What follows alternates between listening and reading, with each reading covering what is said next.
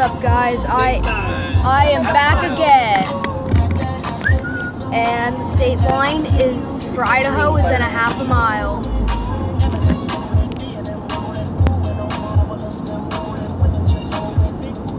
So now just enjoy this short little drive until we see the Idaho state line.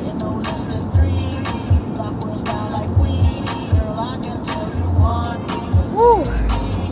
It's it's 12 o'clock.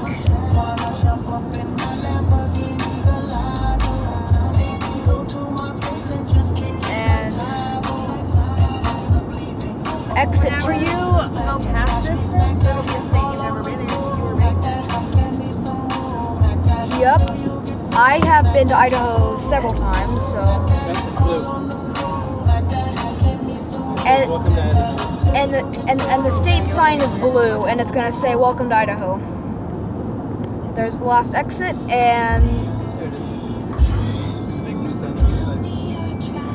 yep, and I think that blue sign right there is the Idaho welcome sign.